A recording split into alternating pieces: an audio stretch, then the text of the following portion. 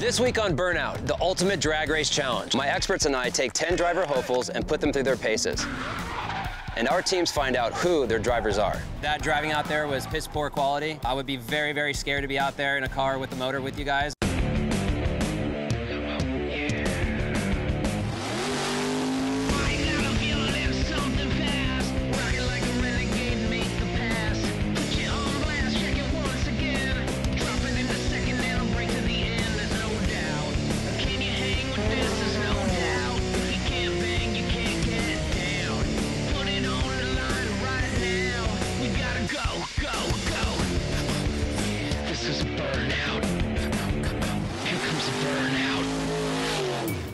Previously on Burnout. The red team just got a truck full of Summit parts in, and yet we have nothing. None of these six cars start. These teams will go to a car, diagnose the problem. Done! Undefeated! Another blue team failure. We need hours. It doesn't matter how good you are. You can't build a car within 20 hours. If you are interested in being one of the drivers for Burnout, we'll be meeting in the student lounge. If it goes down like this, where somebody else is going to come in and drive our car, I'm not going to build it. Been a lot of griping, yes? Yeah. I want three people from each team. You guys will have a shot at being the driver. Finally, he's come to his senses because that's the way it should have been from the get-go.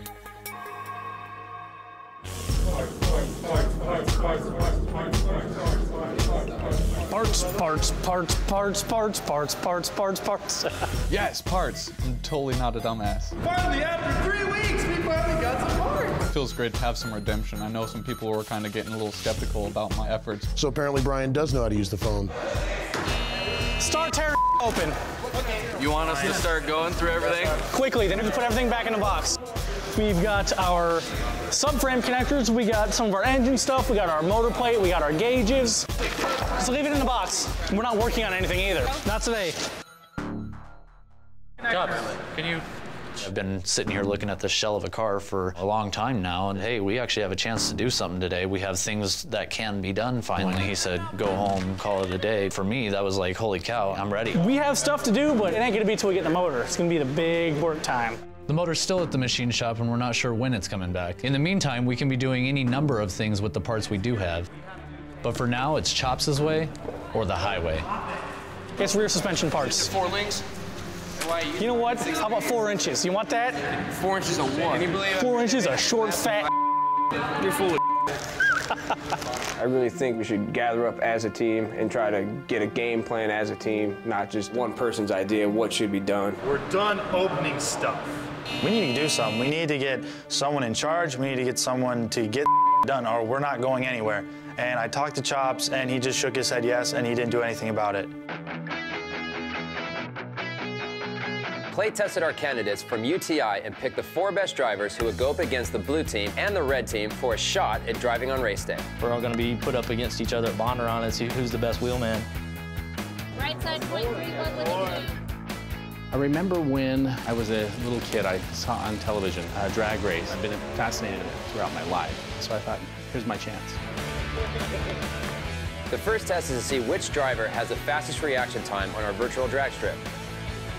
A lot of people haven't done a Pro Tree before, so they're basing off of reaction time, just releasing a button. It's really pretty simple. When the light turns green, you release it, the fastest time qualifies. Left side, point one three with the seven. Whoa. This is bull. This ain't the way you drag race. It ain't all on a freaking hand switch. It's on a switch in a car that runs and you got that adrenaline pumping, you got that noise. You're sitting here in the helmet, you can't hear it's all you hear is vibrations. Like, what the is going on? Red light, green light, go. I win. That's how you drag race. It'd be more qualifying to see who could get the highest score on Forza than pushing a button. For the qualifiers, our second test is to impress Clay. Congratulations, making it down to this smaller group from a large group. I want to spend a few minutes with each and every one of you to determine which four will be moving on. Mike, come see me.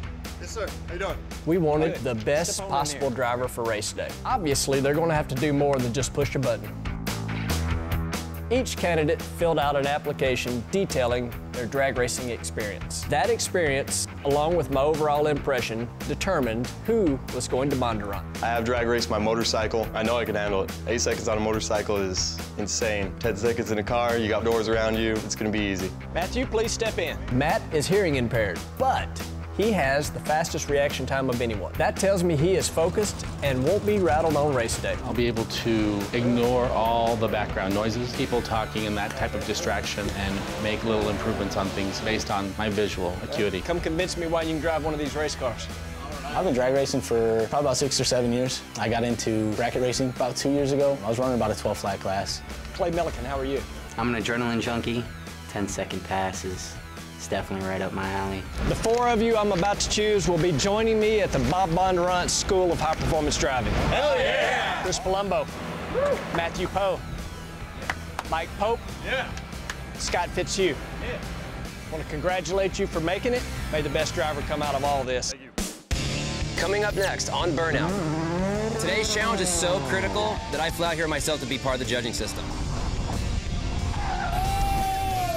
Uh, don't hot dog too much and screw yourself. That driving out there was piss poor quality. I would be really, really worried on a racetrack. So you guys got a lot of work to do. Today, we are finally going to Bondurant. We're gonna have our driver challenge. We're gonna decide who gets to drive for the red team and who gets to drive for the blue team. When I saw Carey climb out of the car, it really hit me how big of a day it was gonna be. Burnout drivers, welcome to Firebird Raceway, the Bob Bondurant School for High Performance Driving. Today's challenge is so critical that I flew out here myself to be part of the judging system. There's a lot that goes into being a racer, whether it's two wheels or four wheels. I have heart, determination, and most of all, talent. If you ain't got those three, you're wasting your time. So it's time to dig deep, get real serious, and put it all on the line out there. Helping me judge will be champion racers who you probably all know. Got Cruz. Yeah. Of course, you know Clay. Jason. Basically started off doing what these guys are doing. I built a car from scratch when I was younger and had a lot of help from friends, and it's brought me to where I'm at today. Those are my heroes, basically. I've watched them ever since I was about 10 years old and went to my first drag race. There will be three challenges, slalom, obstacle avoidance, and skid car. And after each, one or more drivers will be eliminated. Teams, any questions? No, sir. Okay, get to your starting positions. Bondurant School teaches car control, and that's what you need for driving a fast drag car. Clear to go. The first round was just cones in a row real tightly together, and if anyone's seen slalom, it's just weaving in and out. Just don't eat any cones. You hit cones, that's like hitting people, cars, whatever. It's no bueno. It means you lost control. If you hit a cone, you shouldn't be driving. Go ahead. Hell yeah, I was nervous. I was fixing to drive a car that I'd never driven before in front of a bunch of professional drivers. He's doing good. Excellent. Some guys can handle the speed of the slalom. There you go. He gave us the look, got, we got some hot shot points in there, and others just can't. I don't think he's going fast enough. Oh, Victor just knocked one out. It's good if those cones ain't drivers or people. He's, he's done. First cut's always the worst. I'm sad to say. Victor, you're up, buddy. You're out, bud. Bad as I hate to say this, Matthew, we're gonna have to cut you, buddy. Our second challenge of the day was obstacle avoidance. You entered it one way, and there were three lanes and three lights, and if a light turned green, you picked that lane. So you'd have to quick react, get over there, straighten it out, and get back on the throttle. This is definitely starting to separate a few of the guys yeah, out. It You're is. starting to see guys, speed's inconsistent and getting a little out of control. James is definitely showing out. The second challenge, the pressure really started coming down. Scott's looking really, really good. Man, Wyatt's moving up on the list. That's twice now. I think Mike is in trouble. Ah, Brandon clipped the cone a little bit right then, didn't he? You know what? All right, this gotta make cut. this cut's gonna be harder. You did good. I don't know. See what happens. Yeah, we'll see. It's out of our hands now. Yeah, well, it was in my hands. This is round two of the cuts, guys. That driving out there was piss poor quality. I would be very, very scared to be out there in a car with the motor with you guys. So you guys got a lot of work to do. When your name's called, please step forward and stay in line. Darren? James. Wyatt? Christopher. Chris P? Scott. If your name was not called, you are not advancing. Uh, I have no clue how much this is affecting me. I'm probably gonna be slouching for a while. I mean, not on purpose, but it's just who I am. I really hard on myself. The skid control car was like driving on ice. They've got this Cadillac on a hydraulic system and they pick up the back tires of the car just a little bit, so they just make enough traction to go. But they're sliding back and forth, and you've got to counter steer to control the car to keep it go in the direction you want. Whoever that is down there in 21 is rocking, y'all. Yeah, yeah. That's Wyatt. Wow. Uh-oh. Wyatt, you're the man, brother. I was actually really nervous. I calmed myself down. Just started visualizing things. Same exact thing I do when I race back home. Scott's been our show out on everything so far. He's doing good. With the skid car, we could see who really wanted it and who was only out there to screw around. Oh, don't hot dog too much and screw yourself. I was definitely showboating, but I was having fun. I was at Bondurant. I'd say Darren's having issues. Yeah, serious. Darren's definitely struggling. Ah, too much. You know, being able to get somebody else's car that's not mine, the gas they're paying for, tires, all that kind of stuff. It's like, don't threaten me with a good time. I'm gonna roast these tires. Even though it's somebody else's car and it's somebody else's gas, making mistakes like that really hurts you as a driver, but it also hurts your team. After a full day of challenges, it was time to decide who would be behind the wheel on race day. Well, guys, it's been a long day of driving, and it's come down to you final six. So with that said, the two final winners are James and Wyatt. I was pleasantly surprised to hear my name be called out as the red team's driver. I was really excited. I think my heart stopped. At the moment, I'm, I don't know, I'm gonna say pretty much on cloud nine. Every one of you guys did a great You guys all job. did a great job. Yeah, Yes. you guys all kicked ass. Thank you guys for coming out. Thank you. Y'all all did great. Bondurant wasn't just a challenge for the drivers, it was also a challenge for the red and blue teams. And one team had plenty to gain. I asked Clay to go back to UTI and announce the overall winner. James, you're out there hot dogging, trying to show out on the skid pad, trying to uh, be a drift racer. Yeah. You cost your team. I'm awarding Wyatt the winner of the competition, and blue team gets 15 hours. Coming up next on Burnout. Making a seat for a freaking five-year-old. James, who's driving for the red team, he's a little vertically challenged. He's done. I think Scott's done. He's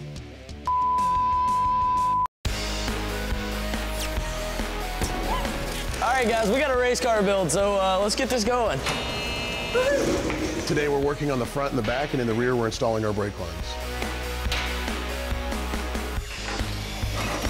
Hit my head on the thing eight times already today. It's the perils of working with short people. Up front, it's all about the little man. Getting his seating and steering dialed in so he's comfortable behind the wheel. So I took the factory steering column out of the car.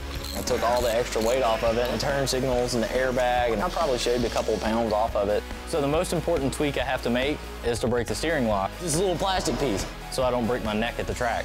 If you driving, you're gonna put it in the wall anyways. Kiss my ass. Move your nose out of the way. Big John. Big John. He's a Nah, I like the guy a lot. He might be a little snappy sometimes. Making a seat for a freaking five-year-old. He means it with love. Me being the five-year-old because I'm short. I love the kid to death, but I don't think he's the right person in the seat. When I heard Scott wanted to drive for one of the teams, I automatically picked Scott. Just more time in the seat. You can't think about nothing but that finish line. James, he's too concerned about everybody else. And if you try to critique James, he doesn't like being critiqued. I can't see. For James to sit in the Mustang and actually see over the dash, I gotta turn the racing seat into a booster seat. Bring it up anymore? He's a little vertically challenged. Depending upon what kind of hood they put on, if it has a cowl on it, there's no way he's going to be able to see over that cowl. He's Right. What are you guys looking at? Right now, I don't have any knee. he looks kind of like a granny in there. I think he's done. I think Scott's done. Yeah? off. What was that all about? Grudge Hold is my metal band. It's good, people moving music. I've been playing with the band for about eight months now. I'm the drummer.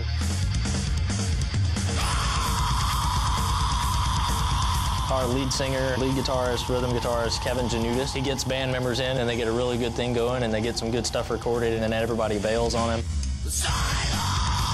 I can't afford to bail on my band, but my schedule is definitely filling up. My wife asked me, she goes, you know, you've got this car thing going on, you're going to school at UTI, you've got Grudge Hold going on, what do you want to do? I said, well, I want to be a rock star that builds cars.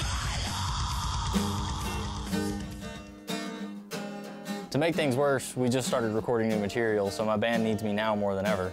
So like when you do this live, you're not gonna just like open it up and kill yourself in a Mustang? No, we're gonna have, they're gonna give us some practice runs. Brad is our manager. He's been with Kevin since the beginning. They've gone through a lot of struggles together and they've got a lot of time and money, a lot of heart invested in this band. They've had a lot of problems in the past finding drummers who can not only tolerate Kevin, but also play the caliber of music to follow some of his guitar riffs. It's as safe as it can be for as fast as it's gonna go. And Grudge Hold is your life insurance policy holder? I haven't signed anything with you guys yet. As far as me driving the car, they just don't want me to get hurt because they've had such a hard time finding a drummer. I kind of don't want to get hurt either. I need a whole drummer, dude. I don't need a one-hour drummer. This isn't Def Leppard.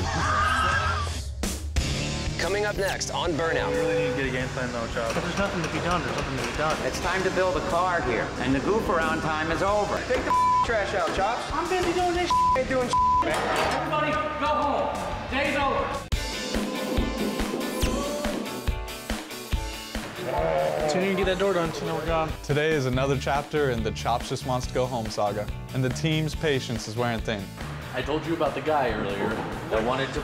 Oh, or let me finish. Sorry, sorry. There's been several instances where it's like, oh, let's just call it a day, and the rest of the team's like, are you kidding me? Well, we really need to get a game plan though, Chops. I know. So you gotta sit down and think what everybody's gonna be doing. Yeah, it depends on parts. If there's nothing to be done, there's nothing to be done. Even though waiting on parts, you still can plan out who's gonna be doing what. I didn't want them wasting the time clock if there wasn't a lot to do. Chops. There's stuff that needs to be done right now, whether you're gonna do it now or later. You may as well do it now. Right now, Brian's cutting the excess weight from the doors. Wyatt and I are gonna mount the radiator, and Richard's tackling the thing he loves, bodywork. No one's thinking about that as important as building the car, but if we have to do bodywork and paint as part of the project, that's a huge part because that takes the most time. I ain't worried about popping damn dents. Chops really pissed me off. He was getting pissed off at Richard because he was trying to get some dings out of the door, but then he's like, don't do that. You got all this Like what? Take this trash out. We have Go two ahead. diffs here. Take the trash out, Chops. I'm busy doing this Ain't doing He started freaking out. They're going at each other. He just said, stop. Everybody, go home. Day's over. All right, Ryan. And then he says, go home.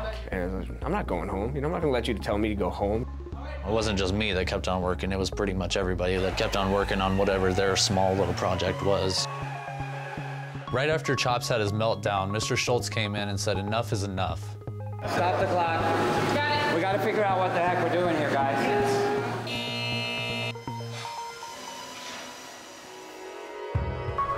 We just wanted to have a come to Jesus talk, if you will. It's time to build a car here. And as far as I see, we haven't done anything yet, except goofed around. And the goof around time is over. We have a car sitting there fully disassembled that's got to get put together here. And the only way that this is going to happen is if this team comes together and gels and we have somebody, I don't know who it is, I don't care who it is, and I don't care if it's me, but we need to sit down and we need to organize. Since I don't know what I'm really doing in this project, I can't just come in and say, hey, I'm gonna hang the air freshener. You gotta tell me if you want me to hang the air freshener, you know? To be able to organize and get this thing planned out, to be able to finish on time, I think is gonna be a huge key to success. But we can't be running around here like a ship without a rudder. Somebody needs to grab a hold of that rudder. Start to think about that because you're our crew chief, right? You're still, you're still our crew chief, correct? Start thinking about what you thought about when you were picked for this project. That's the feeling we need back starting today. I'm not really gonna point the blame at, at, at anybody completely. This is a team. We're under Chops' leadership right now, so everything's gonna fall on the captain. One, two, three. Team Blue! We kind of decided as a team we wanted to give him a second chance instead of just throwing him under the bus first time. We did it privately. Somebody else was like, well, let's give him one more week. Now that we've brought up these problems, let's give him a week to change. And if we don't start seeing improvement, as a team, we would decide something else to do. Next time on Burnout, the Ultimate Drag Race Challenge. Let's race. The team that completes the most laps in those 30 minutes will be the winner. We're gonna mutiny against Chops. No, I'm, I'm not even joking. That's what I heard. Pressure's starting to cook everybody. We're starting to see the true colors come out. Hey, feeling. Today is the day after yesterday. Who is Chops without Chops? I know y'all had a secret meeting. Chop, step outside for a moment, please.